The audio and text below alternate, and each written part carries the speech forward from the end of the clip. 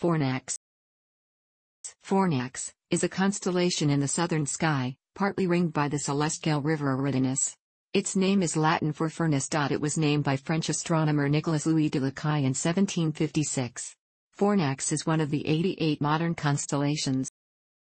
The three brightest stars, Alpha, Beta and Nu Fornacis, form a flattened triangle facing south. With an apparent magnitude of 3.91, Alpha Fornacis is the brightest star in Fornax. Six star systems have been found to have exoplanets. The French astronomer Nicolas Louis de Lacaille first described the constellation in French as La Fourneau Chymique, the chemical furnace, with an alembic and receiver in his early catalogue, before abbreviating it to La Fourneau on his planisphere in 1752, after he had observed and catalogued almost 10,000 southern stars during a two-year stay at the Cape of Good Hope. He devised 14 new constellations in uncharted regions of the southern celestial hemisphere not visible from Europe. All but one honored instruments that symbolize the Age of Enlightenment. Lacaille Latinized the name to Fornax Chimiae on his 1763 chart.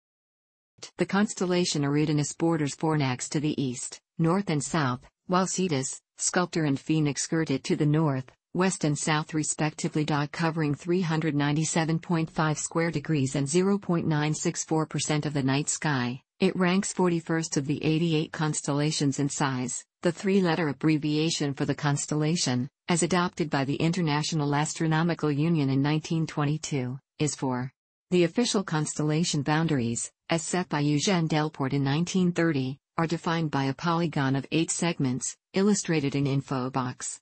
In the equatorial coordinate system, the right ascension coordinates of these borders lie between and, while the declination coordinates are between minus 23.76 degrees and minus 39.58 degrees.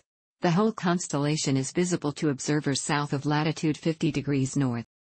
Lacaille gave Bayer designations to 27 stars now named Alpha to Omega Fornacis, labeling two stars 3.5 degrees apart as Gamma, three stars Eta, two stars Iota, 2 lambda and 3 chi. Phi 4 Nasi was added by Gould, and Theta and Omicron were dropped by Gould and Baily respectively. Upsilon, 2, was later found to be two stars and designated as such. Overall, there are 59 stars within the constellation's borders brighter than or equal to apparent magnitude 6.5. However, there are no stars brighter than the fourth magnitude. The three brightest stars form a flattish triangle, with Alpha, also called Dalim, and Nu Fornacis marking its eastern and western points and Beta Fornacis marking the shallow southern apex. Originally designated 12 Eridani by John Flamsteed, Alpha Fornacis was named by Lacaille as the brightest star in the new constellation. It is a binary star that can be resolved by small amateur telescopes. With an apparent magnitude of 3.91, the primary is a yellow-white subgiant 1.21 times as massive as the Sun that has begun to cool and expand after exhausting its core hydrogen having swollen to 1.9 times the Sun's radius. Of magnitude 6.5, the secondary star is 0.78 times as massive as the Sun. It has been identified as a blue straggler, and has either accumulated material from, or merged with, a third star in the past. It is a strong source of X-rays. The pair is 46.4 plus or minus 0.3 light-years distant from Earth. Br Beta Fornacis is a yellow-hue giant star of spectral type G85 of magnitude 4.5 that has cooled and swelled to 11 times the Sun's diameter, 169 plus or minus 6 light-years from Earth. It is a red clump giant, which means it has undergone helium flash and is currently generating energy through the fusion of helium at its core. Nu Fornacis is 370 plus or minus 10 light-years distant from Earth. It is a blue giant star of spectral type B9.5 Visp that is 3.65 plus or minus 0.18 times as massive and around 245 times as luminous as the Sun, with 3.2 plus or minus 0.4 times its diameter. It varies in luminosity over a period of 1.89 days, the same as its rotational period. This is because of differences in abundances of metals in its atmosphere. It belongs to a class of star known as an alpha Canum Venaticorum variable. Shining with an apparent magnitude of 5.89, Epsilon Fornacis is a binary star system located 105 plus or minus 1 light years distant from Earth. Its component stars orbit each other every 37 years. The primary star is around 12 billion years old and has cooled and expanded to 2.53 times the diameter of the Sun, while having only 91% of its mass. LP 944-20 is a brown dwarf of spectral type M9 that has around 7% the mass of the Sun. Approximately 21 light-years distant from Earth, it is a faint object with an apparent magnitude of 18.69. Observations published in 2007 showed that the atmosphere of LP 944-20 contains much lithium and had it has dusty clouds. Smaller and less luminous still is 2 MASS 243-2453, a T-type brown dwarf of spectral type T6. Dot With a surface temperature of 1040 to 1100 K, it has 2.4 to 4.1% the mass of the Sun, a diameter 9.2 to 10.6% of that of the Sun, and an age of 0.4 to 1.7 billion years. Six star systems in Fornax have been found to have planets. NGC 1049 is a globular cluster 500,000 light-years from Earth. It is in the Fornax dwarf galaxy.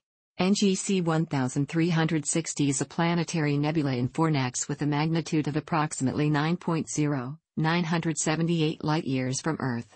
Its central star is of magnitude 11.4, an unusually bright specimen.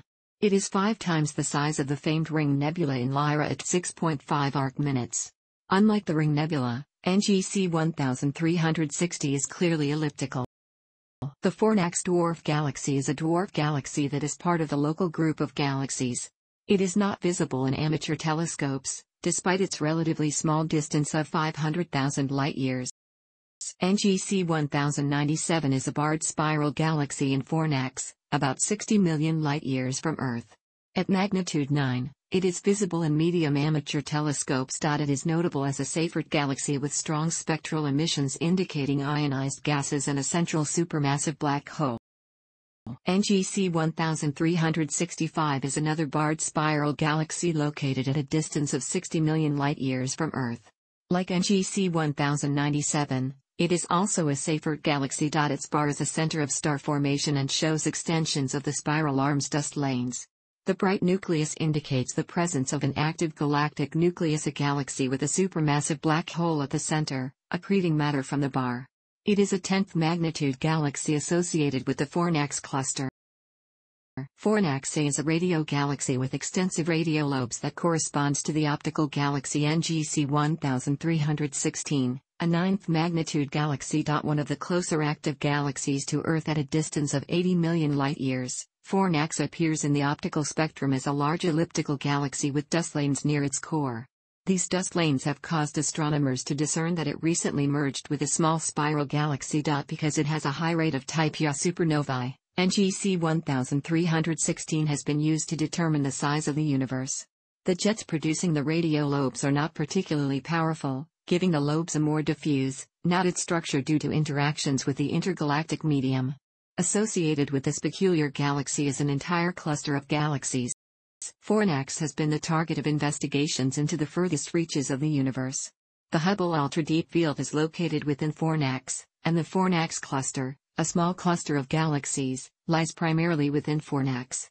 At a meeting of the Royal Astronomical Society in Britain, a team from University of Queensland described 40 unknown dwarf galaxies in this constellation. Follow-up observations with the Hubble Space Telescope and the European Southern Observatory's Very Large Telescope revealed that ultra-compact dwarfs are much smaller than previously known dwarf galaxies, about across. UD 39546284 is a candidate protogalaxy located in Fornax, although recent analyses have suggested it is likely to be a lower redshift source. In Chinese astronomy, the stars that correspond to Fornax are within the White Tiger of the West, Xifang Beihu. Thanks for watching.